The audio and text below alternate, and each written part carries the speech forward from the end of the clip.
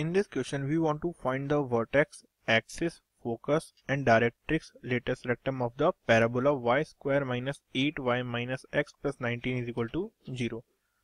तो पैराबोला क्या है? Parabola is equal to Y square minus eight Y minus X plus nineteen is equal to zero तो अब हम क्या करें? अगर ये हमें वाई स्क्वायर भी दिख रहा है और वाई भी दिख रहा है तो हम इसे होल स्क्वायर में कन्वर्ट कर सकते हैं। वो कैसे? ये लिखा हुआ है Y square minus two into four into Y तो क्या इंटू फोर भी है तो क्या कर सकता हूँ मैं? इसे फोर स्क्वायर ऐड कर देता हूँ और माइनस कर देता हूँ। तो ये क्या हो जाएगा अब equation plus X minus nineteen भी हम सिमिलरली लिख देंगे। So it is equal to zero तो सिंप्लीफाई करने पे इक्वेशन क्या हो जाएगी? Y minus four whole square minus X sorry ये हमने यहाँ पे एक मिस्टेक कर दी, वो क्या है? या प्लस एक्स और यहाँ माइनस एट नाइनटीन लिख दिया है हमने, जबकि ये क्या है? ये है माइनस एक्स प्लस नाइनटीन है। सो सिंप्लीफाई करने पे ना equation will be equal to हमने प्लस सिक्सटीन यूज़ कर लिया, यहाँ माइनस सिक्सटीन ऑलरेडी था। तो minus sixteen plus nineteen is equal to three कैसे हो जाएगा three minus X is equal to zero तो सिंप्लीफाइड फॉर्म हो गई इक्वेशन की Y minus four square is equal to X minus three so this is the equation of the given parabola in standard form तो standard form में हमने equation लिख दी है now अब हमें क्या क्या डिटरमाइन करना है? सबसे पहले अगर जो हमारी जनरल इक्वेशन होती है, वो कैसी होती है? जनरल इक्वेशन होती है हमारी, जो जनरल इक्वेशन हम यूज़ करते हैं पैराबोला की, वो होती है Y square is equal to four A X जहाँ पे ए क्या होता है? वर्टेक्स की क्या होती है?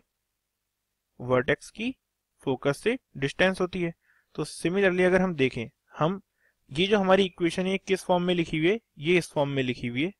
Capital Y square is equal to four A into capital X और जहाँ पे कैपिटल वाई किसके इक्वल है?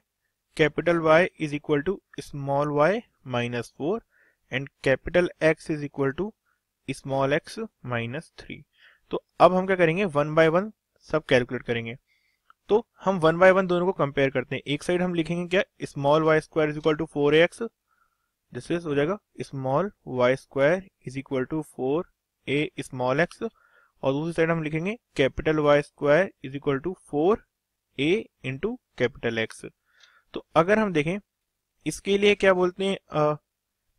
वर्टेक्स क्या होता है? इसके लिए वर्टेक्स होता है ज़ीरो कॉमा ज़ीरो होता है vertex is zero comma zero तो सिमिलरली इसके लिए वर्टेक्स कब होगा? जब y is equal to zero capital y is equal to zero और इसके लिए वर्टेक्स होता है?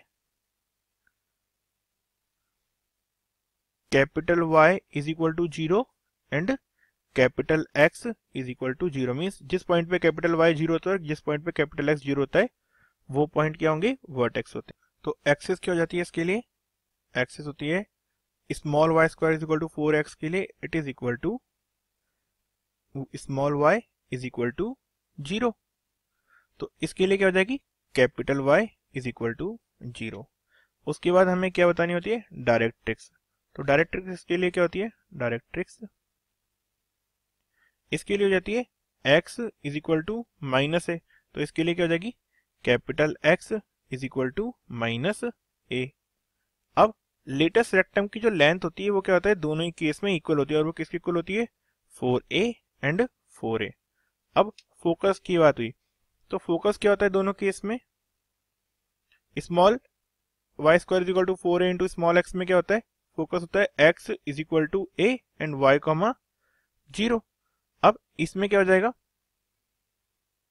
X is equal to a and y is equal to zero जबकि इस वाले केस में क्या हो जाएगा? इस वाले केस में हो जाएगा हमारा capital X is equal to a and capital Y is equal to zero ये इससे दोनों कोऑर्डिनेट्स हो जाएँगे हमारे फोकस के। नाउ सिंपली अब क्या करते हैं? हमें और कुछ निकालना है, इसमें हम एक बार देख लेते हैं। तो बस हमें यही सब फाइव क्या बोलते हैं? डिटरमाइन करनी है। तो अब हम वन बाय वन डिटरमाइन कर लेंगे। अब हमें क्या पता है? Capital Y is equal to small y minus four and capital X is equal to x minus three तो वर्टेक्स क्या हो जाएगा? तो वर्टेक्स में अगर हम देखें तो कैपिटल एक्स कहाँ ज़ीरो हो रहा है? X is equal to three पे। और कैपिटल वाई कहाँ ज़ीरो हो रहा है? Y is equal to four पे। तो three comma four is what x अब उसके बाद हमें क्या निकालना है? एक्सिस तो एक्सिस क्या होती है? Y is equal to zero तो ये हो जाएगा y minus four is equal to zero ये हो गई हमारी क्या? एक्सिस अब इसके बाद हमें क्या निकालना है? डायरेक्ट्रिक्स तो डायरेक्ट्रिक्स क्या हो जाएगी? Directrix is equal to x is x is equal to minus a होता है तो यहाँ हम लिख देंगे capital X is equal to minus a अब ए की वैल्यू क्या है? तो अगर हम देखें तो ये क्या लिखा हुआ है? Capital Y square into four a into x तो यहाँ ए की वैल्यू कितनी है?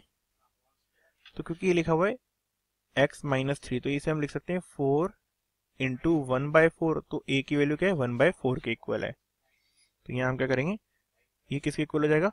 वन बाय फोर के इक्वल तो कैपिटल एक्स की वैल्यू हम पुट कर देंगे यहाँ पे which is equal to x minus three कैसे जाएगा x minus three is equal to minus one by four simplify करने पे वैल्यू क्या जाएगी? Mine three minus one by four is eleven by four तो x is equal to eleven by four is the directrix अब और क्या क्या equation हमें डिटरमाइन करनी है? लेटेस्ट रेक्टम तो लेटेस्ट रेक्टम क्या होता है? फोर इंटू ए होती है।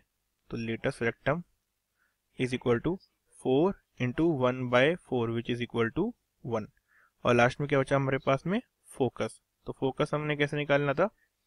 होता है x is equal to a and y is equal to zero तो एक्स क्या है? यहाँ से जाएगा x minus three is equal to one by four and y minus four is equal to zero तो यहाँ से x is equal to three plus one by four और I can say x is equal to thirteen by four comma y is equal to four तो focus के जो coordinates हो जाएँगे, वो क्या हो जाएँगे? फोकस के कोऑर्डिनेट्स हो जाएँगे thirteen by four comma four so this is answer for all parts of this question. ये हो गया thirteen by four comma four focus हो गया। लेटेस्ट एटम की लेंथ है इक्वल टू वन डायरेक्ट्रिक्स की क्या बोलते हैं? इक्वेशन क्या है? X is equal to eleven by four x is क्या y minus four is equal to zero and what x आया three comma four so this is the answer for this question और अगर हम इस question का एक rough figure draw करें तो रफ फिगर कैसा होगा इस क्वेश्चन का? तो रफ फिगर हमें ड्रॉ करने के लिए लेट्स सी हमारी कोऑर्डिनेट एक्सिस है। तो हमें पता है इस जो पैराबोला इसका वर्टेक्स क्या है? थ्री कॉमा फोर है। तो सबसे पहले हमने three comma four point draw कर लिया। So this is three comma four